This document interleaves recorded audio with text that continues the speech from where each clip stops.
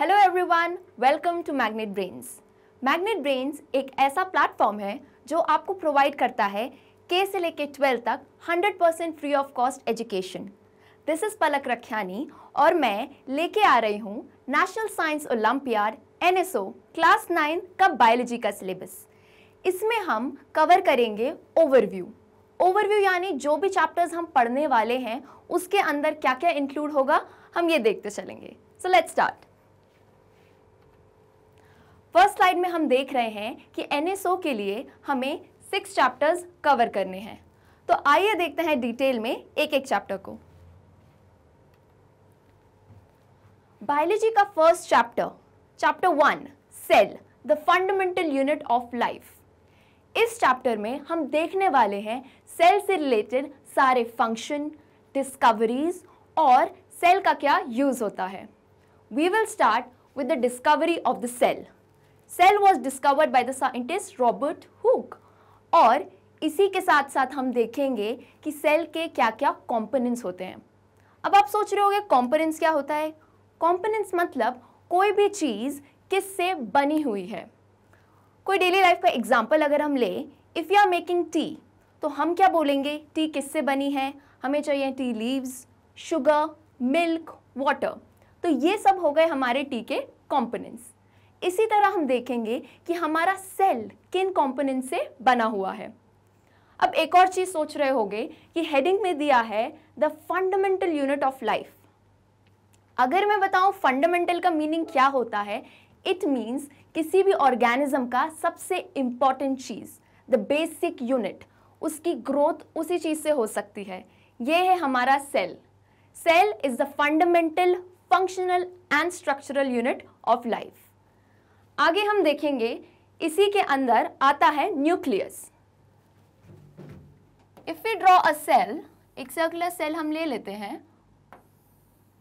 उसके सेंटर में प्रेजेंट रहेगा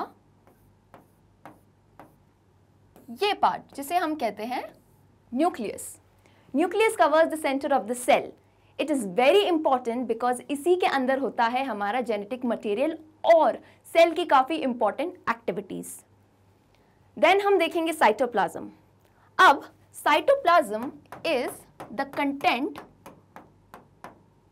which is outside the nucleus यानी ये जो हम सब्सटेंस देख पा रहे हैं यहाँ पे that is cytoplasm and nucleus and cytoplasm को मिला के बोलते हैं प्रोटोप्लाज्म सो so, पूरे चैप्टर में हम ये कवर करेंगे सेल के न्यूक्लियस की डिस्कवरी न्यूक्लियस में क्या क्या एक्टिविटीज़ होती हैं साइटोप्लाज्म किस तरह से इंपॉर्टेंट है।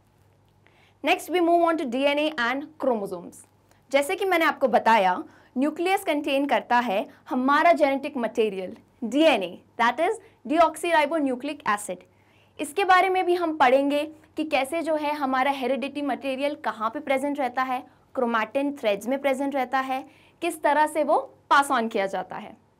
Next we move on to cell organelles अब सेल ऑर्गेनल्स न्यूक्लियस और साइटोप्लाज्म के जैसे ही इंपॉर्टेंट हैं। कुछ ऑर्गेनल्स जिनका नाम है एंडोप्लाज्मिक रेटिकुलम गोल्जी बॉडी और हमारे प्लास्टिड्स हो गए जो कि प्रेजेंट रहते हैं प्लांट सेल्स में एट्सेट्रा ये सारे सेल ऑर्गेनल्स हम कवर करने वाले हैं। इनके क्या फ़ंक्शंस हैं? जैसे ले लेते हैं हम एंडोप्लाज्मिक रेटिकुलम वो करता है प्रोटीन सिंथेसिस गोल्जी बॉडी जिसमें हम पढ़ेंगे पैकिंग लाइजोसोम्स जिन्हें हम कहते हैं सोसाइडल बैग्स और भी ऐसे ही इंपॉर्टेंट सेल ऑर्गेनल्स हम कवर करेंगे।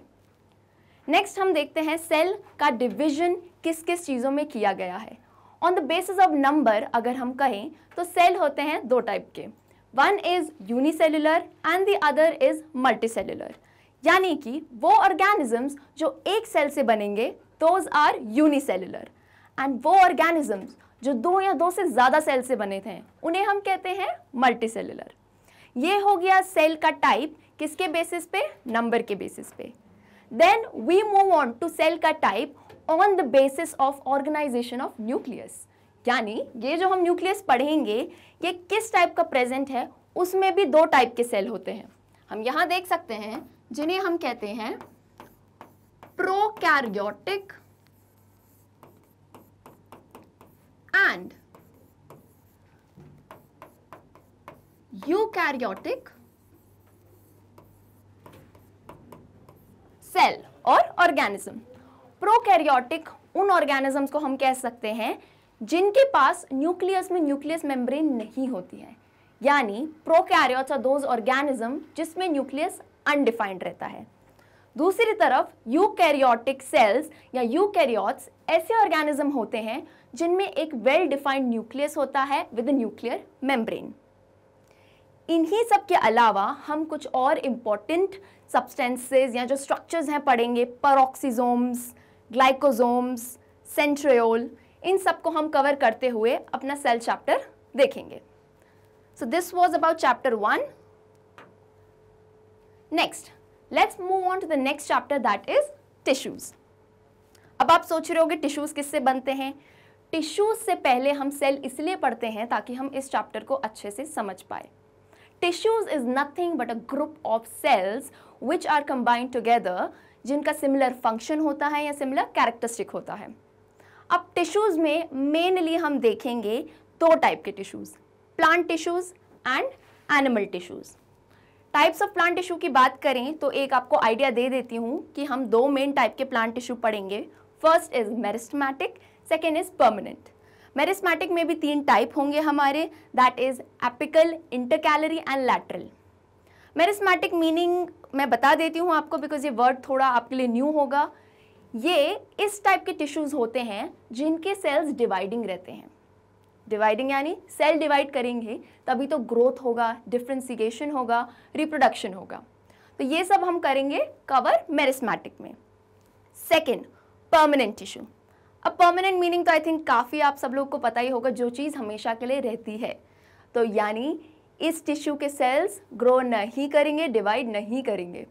परमानेंट टिश्यूज़ में ज़्यादातर सेल डेड भी होते हैं। And if you talk about permanent tissue ये मिलेंगे हमको दो टाइप के, किसमें? प्लांट्स में xylem and phloem xylem mainly plant के अंदर वाटर और मिनरल्स कंडक्ट करने का प्रोसीजर करता है। एंड फ्लोएम की बात करें तो इसका फ़ंक्शन है ये अपने साथ फ़ूड मटेरियल्स प्रोवाइड करता है पूरे प्लांट बॉडी को। ठीक है? तो ये हमने देखा था प्लांट टिश्यू का एक ओवरव्यू डोंट वरी इस पूरे चैप्टर को हम बहुत डिटेल में कवर करेंगे। Let's move on to animal tissue अब एनिमल टिश्यूज में भी सिमिलरली प्लांट टिश्यू की तरह ही जो फोर टाइप्स होते हैं प्लांट टिश्यू में ऑल दो होते हैं, इसमें फोर टाइप्स के होते हैं। क्या क्या होते हैं? Muscular tissue connective tissue epithelial tissue yes इन सब टिश्यूज को हम कवर करेंगे। ठीक है? Let's move on diversity in living organisms ये काफ़ी इंटरेस्टिंग चैप्टर है।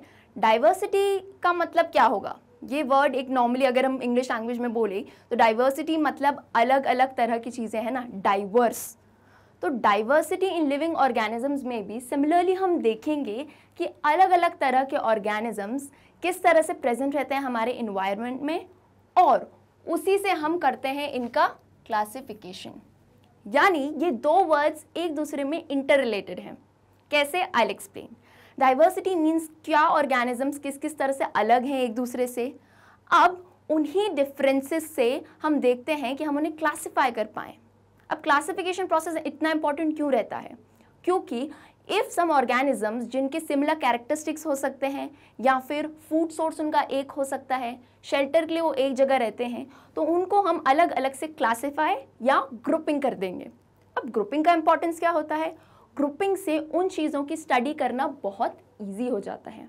फॉर इंस्टेंस आप किसी क्लास में हैं, आप अपने स्कूल में पढ़ रहे हैं एंड आपकी क्लास में बच्चों को डिवाइड किया है on the basis of activities कि this is a group of dancers this is a group of singers ये ग्रुप रिसर्च करेगा एंड ये ग्रुप वोकलिस्ट है। यानी हम अलग अलग बेसिस पे उनको ग्रुप कर देते हैं। तो इससे क्या हो जाता है? आसानी हो जाती है सबकी क्वालिटीज़ जानने में।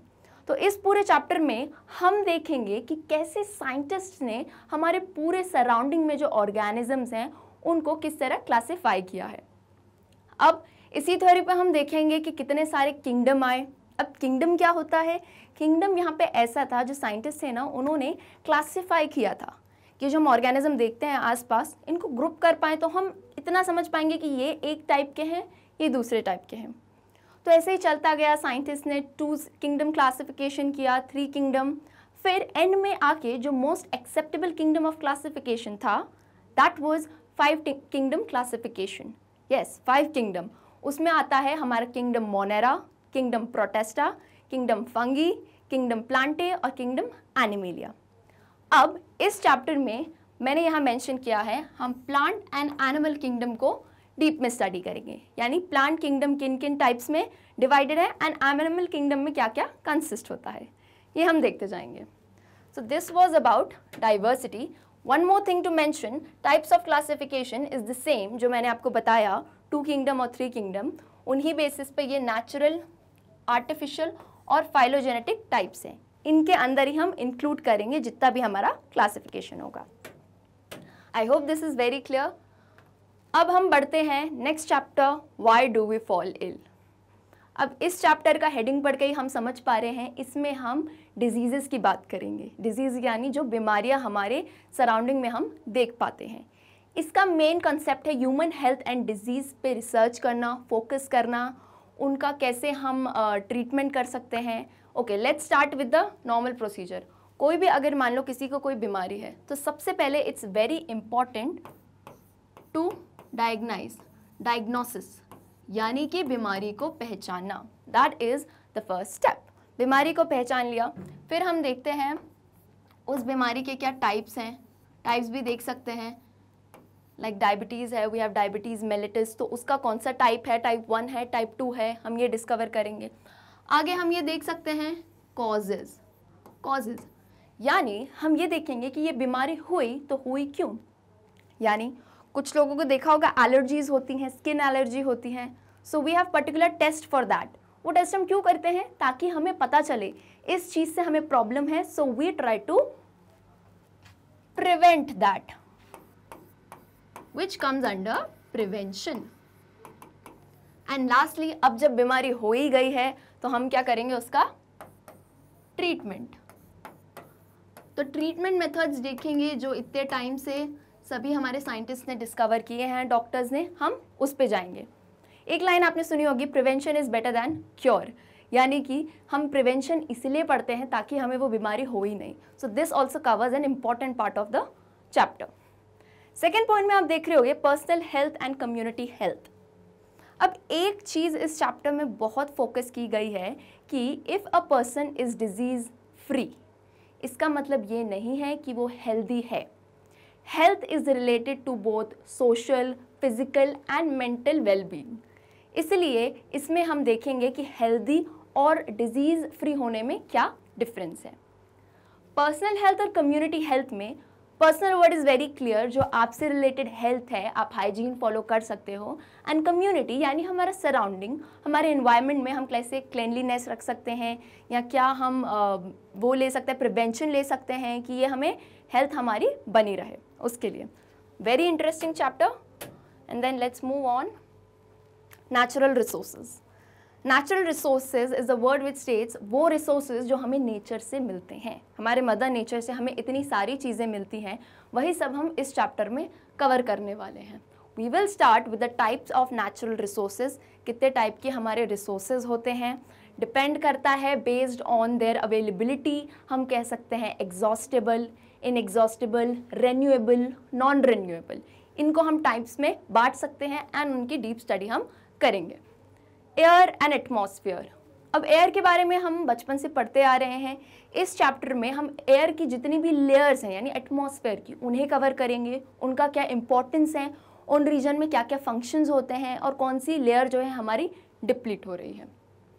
Then we come to bio geo chemical cycle इतना बड़ा वर्ड हो गया। अब एक चीज़ याद रखना, जब भी मैं पढ़ाऊँगी ना, जो बायोलॉजी के वर्ड्स होते हैं we can break them and understand the meaning यानी हर वर्ड को अगर हम ऐसे तोड़ेंगे ना तो उसका मीनिंग निकलेगा। सिंपल कर देते हैं। First word stand for bio bio means living biology पढ़ते हैं हम बायोटिक पढ़ते हैं, इन सब का मतलब क्या होता है लिविंग तो ये साइकिल हो गई living geo geo is related to earth जैसे हम पढ़ते हैं जियोग्राफी तो this comes under geo and chemical chemical, हमें पता है केमिस्ट्री के जो भी हमारे एलिमेंट्स रहते हैं सब्सटेंसेस रहते हैं, उनकी जो रिएक्शंस होती हैं, उनसे जो प्रोडक्ट्स बनते हैं, वो होते हैं। तो हम देखेंगे बायो जियो केमिकल साइकिल्स जो कि हैं दो टाइप की गेशियस गैस से रिलेटेड और सेडिमेंट्री ठीक है? अब गेशियस में हम देखेंगे nitrogen and carbon cycle mainly and sedimentary में हम देख सकते हैं हमारी वाटर साइकिल वाटर साइकिल हमने पढ़ी है, कैसे वाटर हमारे रेन में बनता है देन नीचे आता है लेक्स में आता है it gets evaporated and then वापस। सो साइकिल इज़ बेसिकली जो चीज़ रिवॉल्व कर रही है। Next we come to soil formation and erosion अब सोच रहे हो सॉइल के बारे में क्यों पढ़ना है इतना? Because soil is very important हमारे प्लांट सॉइल में ग्रो करते हैं। तो सॉइल का फॉर्मेशन कैसे होता है? कौन सी सॉइल किस प्लांट के लिए फिट है? इरोजन इरोजन मतलब सॉइल कैसे डिप्लीट की जा रही है, कैसे ख़राब हो रही है और उसे हम कैसे बचा सकते हैं। ये हम देखेंगे इस चैप्टर में। Next we come to greenhouse effect and ozone depletion greenhouse effect हम पढ़ते जा रहे हैं। जो अमाउंट ऑफ़ सी है, हमारे एटमॉस्फेयर में बढ़ जाता है, जिससे टेम्परेचर इंक्रीज होता है ग्लोबल वार्मिंग बढ़ती है। And last is ozone depletion ozone is nothing but O three a layer which is present in our upper atmosphere और इसका क्या काम होता है? ये हमें सन की यूवी रेडिएशंस से बचाती है। दैट इज़ वेरी हार्मफुल अब इस लेयर का डिप्लीशन किन की वजह से हो रहा है? सी हैं, जिनकी वजह से डिप्लीशन हो रहा है, उन्हें हमें स्टॉप किया है और बाकी सारे प्रोसीजर्स हम इसमें देखेंगे। सो आई होप ये चैप्टर क्लियर था। क्लियर था एज एन डोंट वरी हम बाकी सारे वीडियोज़ में हर एक चैप्टर को डीपली कवर करेंगे। Let's go on with the last chapter that is improvements in food resources natural resources तो देख लिया। अब food resources food I think काफ़ी इंटरेस्टिंग टॉपिक है हम सबके लिए। फ़ूड रिसोर्सेज में हम कवर करेंगे biotic and abiotic factors that is affecting crop production अब एक मेन चीज़ देख लो, इस चैप्टर में हम देखेंगे किस तरह की क्रॉप्स हैं, वो कहाँ ग्रो करती हैं, कौन से फैक्टर्स हैं जो उन्हें अफेक्ट करते हैं बायोटिक यानी लिविंग ए बायोटिक यानी नॉन लिविंग फैक्टर्स हैं जो उन्हें अफेक्ट करते हैं। देन हम न्यूट्रिएंट्स के बारे में पढ़ेंगे प्लांट न्यूट्रिएंट्स जैसे आप देख पा रहे हो। माइक्रो एंड मैक्रो में उन्हें बांटा गया है। Micro means the smaller nutrients and macro means the larger size nutrients इन्हें देखेंगे हम। अब न्यूट्रिएंट्स की बात आती है तो हमें we all remember our mothers कि क्या है ना, हम कोई भी चीज़ खाते हैं तो दे टेलस इसमें ये न्यूट्रिएंट है या वो न्यूट्रिएंट है। तो ये चैप्टर काफ़ी इंटरेस्टिंग होने वाला है उस बेसिस पे।